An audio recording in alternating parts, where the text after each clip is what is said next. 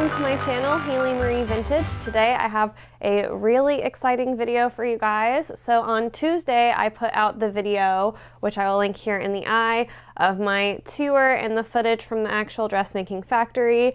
Uh, if you want more history on that, definitely go and check out Stephanie Canada's video. She did an interview with the owner. Um, and then today uh, I'm going to do my haul. Um, I also know Drew will be putting out a haul, so I'll also link that up in the eye. Um, so you have lots of fun videos to watch around this dress factory. Uh, I know Stephanie, Drew, and I all hauled really different things. So yeah, this is gonna be my haul. Um, and let me go get my haul.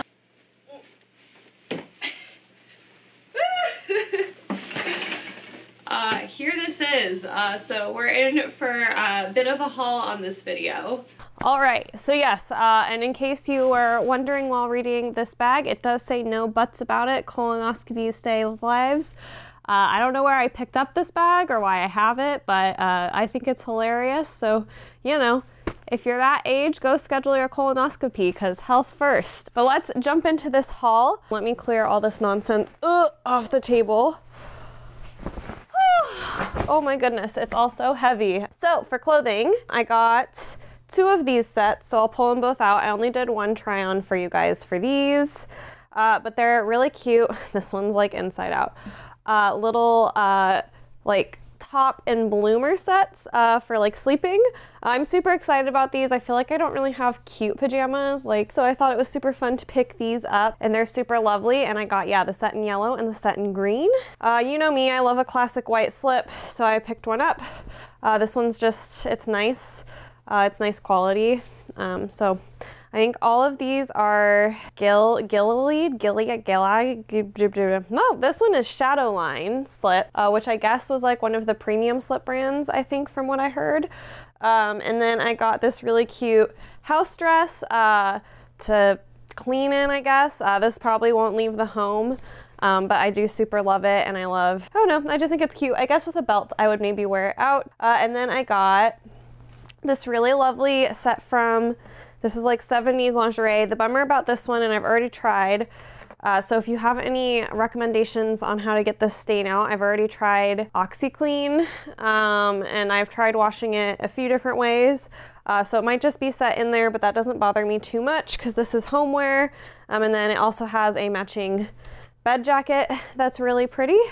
Uh, and I just really love the floral embroidery on this. And then I also got this really beautiful bridal lingerie set. Um, I'll probably never use it for its intended purpose. I'll probably like vacuum in it or something like that.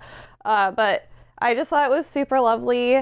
Um, and I picked both of these sets up. Oh, there's a spot in this one. So I did the laundry, I cleaned them, and then a certain cat had issues and uh, got it all over my clothing. So that was neat. Uh, huh, spooky.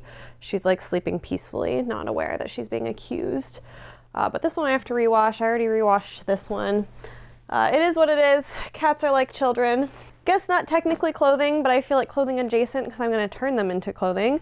Um, I got a bunch of really lovely bed linens uh, that I'm going to do the usual cleaning and retro clean and then work on making them into something. They have some really beautiful border prints and since I have matching sets, I actually have more like fabric to work with that's similar.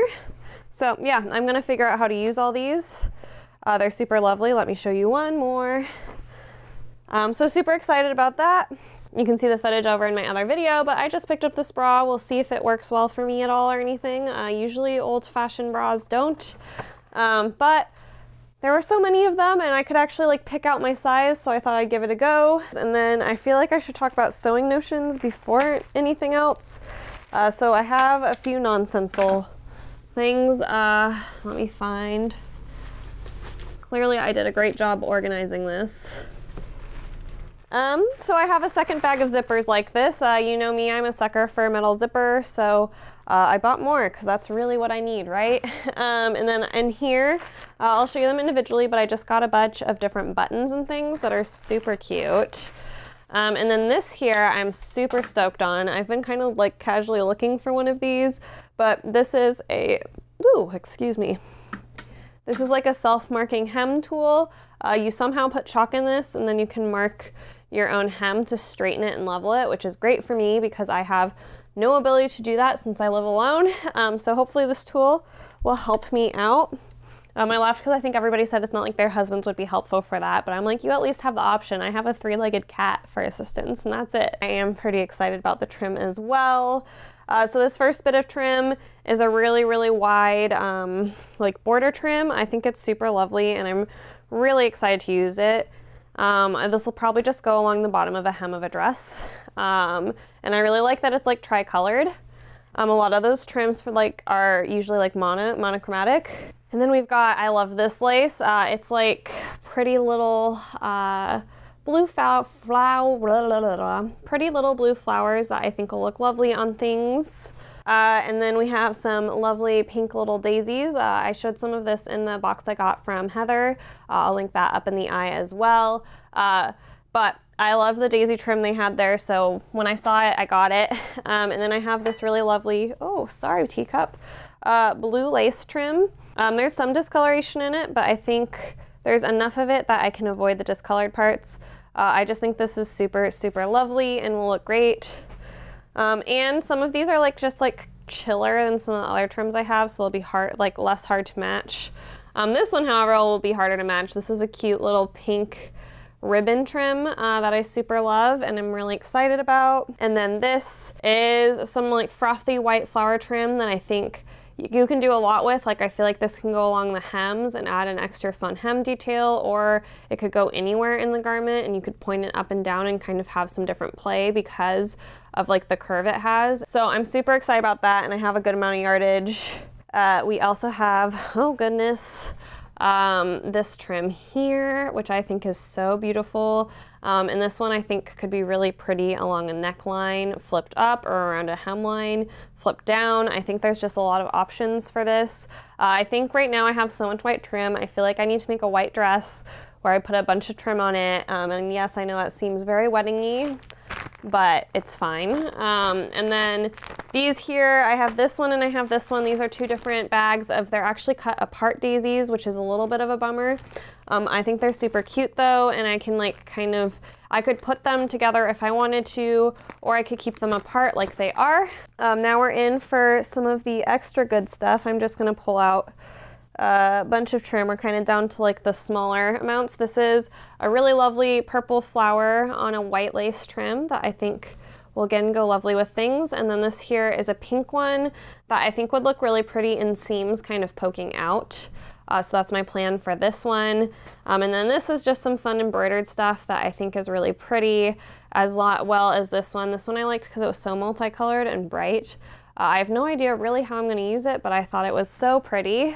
And then we'll show you one more plain white trim and then we're down to the really fun stuff. We're down to the sparkles. Um, I tried to refrain from buying too many sparkles, but I did buy some. Um, but this here is just some really lovely white trim that I like because this like lattice work within, you can put in a channel for either elastic or like a ribbon to make a drawstring. Um, so super excited about that. Um, we also have, let me try to get everything besides the sparkles out for now. Um, Oh my goodness. Okay, I think that's it almost. Yeah. Um, so this here is some really lovely light blue, like kind of pom-pom trim again. I think this will look really pretty in the seams of things. Uh, and then we have kind of some random bits of short trim, uh, nothing too exciting there. Uh, this trim, I super love this one. Um, they look like little pink cherries, and you know I love a cherry. Uh, and so I'm really excited about these. I think they're so pretty and they're pink and as you all know I don't really enjoy reds so to find some pink cherry trim is super exciting for me. Um, and then these are just another set of daisies. These are actually though like pink, white, and blue which I really like. And then this has some little flower trim. Um, you can cut these apart actually let me see where I put it. Um, this jar here actually has a bunch of these cut up down at the bottom of it. This is just a jar of applique. I thought it was a cute little jar. Uh, if you know what Sanka is, let me know. Uh, this is the product container it's in, um, and I don't know what it is. Um, and then this is some cute little black pom-pom trim that I thought was really special looking and I really enjoy. And I love pom-poms, especially black pom-poms, and these ones are like kind of weird and silky and less like poofy than other pom-poms. Um, Could talk about pom-poms for way too long, I feel like. Uh, and then here, we're in for some sparkle. Oh my goodness, so much sparkle, all the sparkle. Uh, so this bag here, I'll show you some close-ups.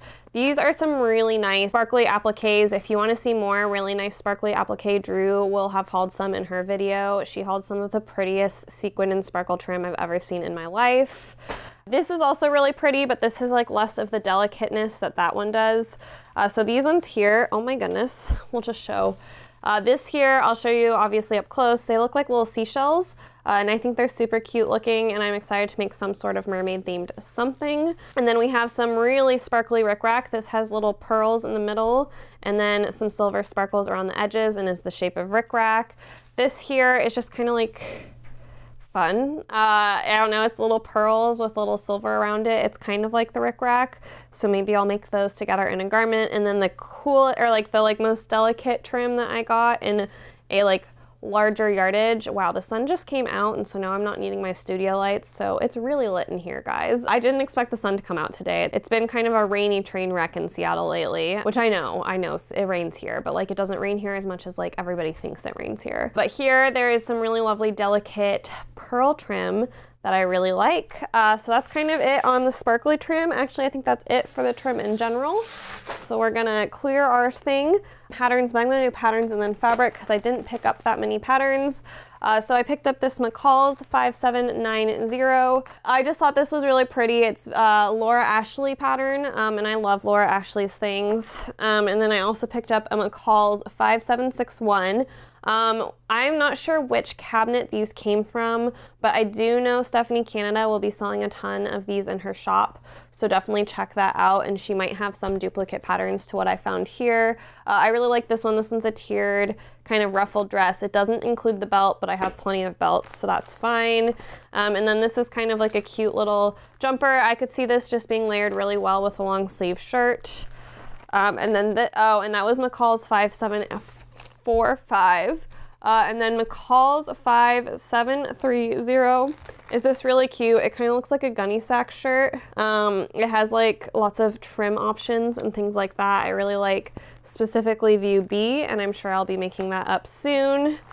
Um, and then last, uh, I don't know how I ended up with this pattern. I think I looked at it and I didn't even really like it that much, but now I have it. Uh, I got a size small of this. It's kind of this weird 70s dress that doesn't have much shape to it with then this weird like, I don't know how else to describe it, but a dicky vest over it.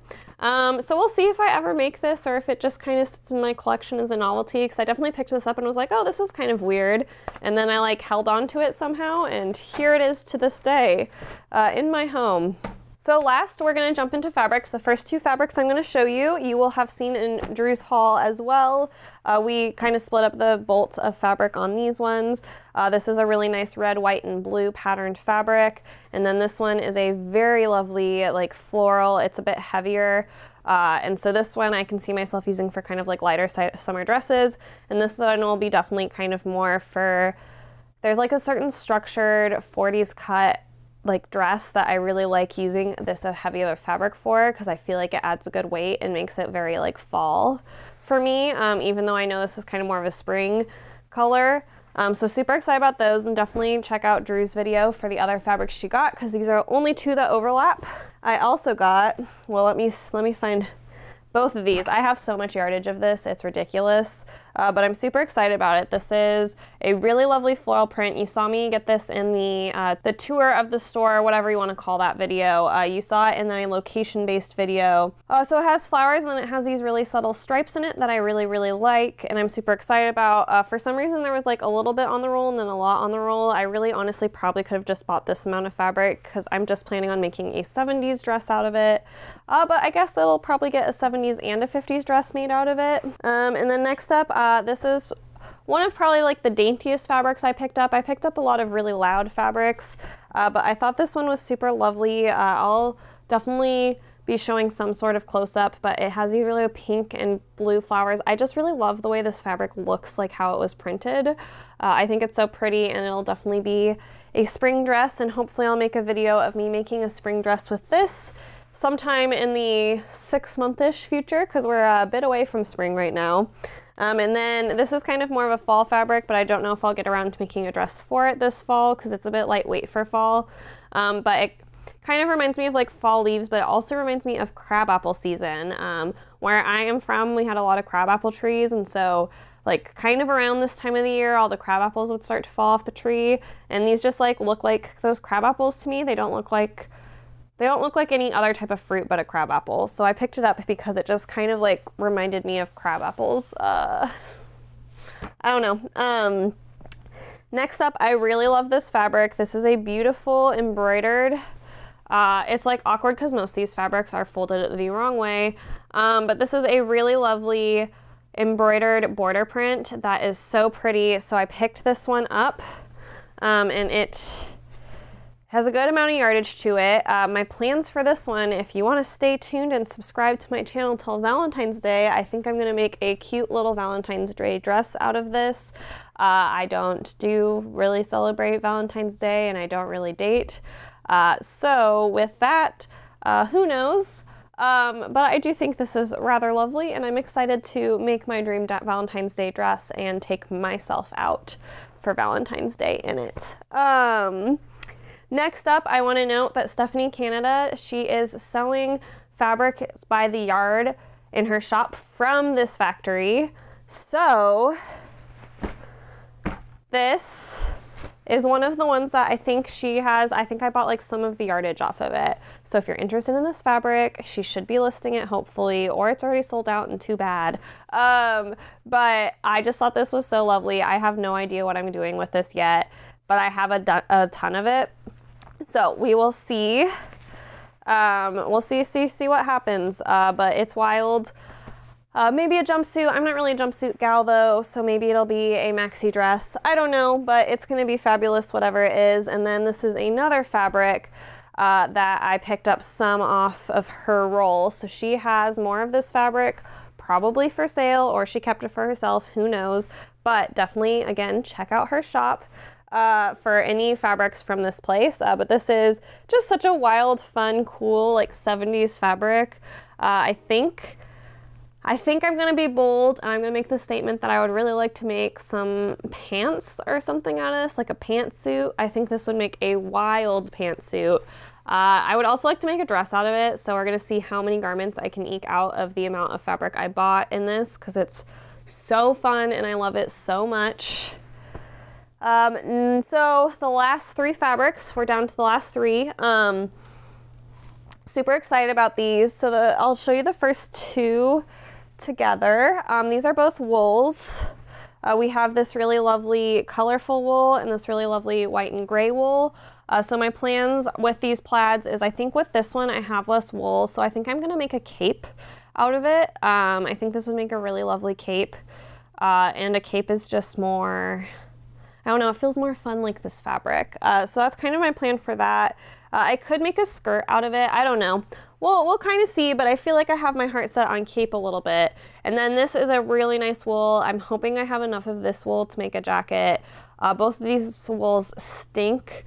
Uh, what I will say is like all the fabric coming from this factory smells really, really musty. And it, it comes out in the wash, but uh, I haven't washed any of this yet because I live in an apartment where I have to pay for my washer and dryer. So it's just going to be a bit of a process. Uh, but I really love these wools and I'm super excited about them. And I'm excited to hopefully make my first coat on this channel. Hopefully you will see this one get made into a coat in the next few months if I have enough of a yardage. Uh, because I like I like a full length coat. Um, and then last, but certainly not least, uh, as you can see, I have just a few yards of this. Oh. I think you probably saw that. That just scared the crap out of me. But uh, this I am so excited about. Uh, so this is a beautiful flocked black and white fabric. Um, this one is also super stinky, but this one I'm gonna um, push a picture here, I guess. Uh, but this one actually came in its original packaging and it even had the tags that the dressmaker would stitch into it to tell you how to care for the garment. So I know this is machine wash warm. Uh, super fun for me. I'm gonna have to wash this in like five length, like five yardage lengths because there's no way I can wash it kind of like the way it is in this massive I don't know how many yards of this I have. This was one that I should have bought what I wanted and sent the rest with Stephanie. Um, I don't know what I was thinking. I think I just got overwhelmed and forgot to do that uh, because uh, I have so much of this and while I'm very excited about it, uh, I don't need, I mean, I could probably make eight or nine garments, I think, with the yardage I have here, which is a little much. Uh, so yeah, uh, so we're gonna figure that out. Uh, and I think that is where we end. Uh, I hope you enjoyed this haul. Definitely subscribe and stick around if you want to see all these things get made into things. Uh, I'm really excited. I think I'm to make the bold statement that I think I want to be adding. So, right now, I upload one video a month of me sewing. Uh, a garment I would really like to probably starting in November or uh, let's be honest, starting in January next year, which I know is so far away. Uh, I'm gonna try to start getting two videos a month of me sewing a garment up so you can slowly see me work my way through all this stuff, but I'm super excited about it. Uh, I was so thankful for this trip and the opportunity to meet Stephanie, Drew, Heather, and Felicia. Like I said, check out their channels, especially check out Stephanie's store. Everything's going to be linked down in that description, so check them all out. It was so fun. We laughed so much, and definitely check out Stephanie and Drew's videos about this. I believe Heather also has one up, um, but look for them. They're super fun. Maybe I'll make a little playlist uh, of all our videos if you want to watch all the footage about this factory. that is it for this video. I will see you next time. Bye!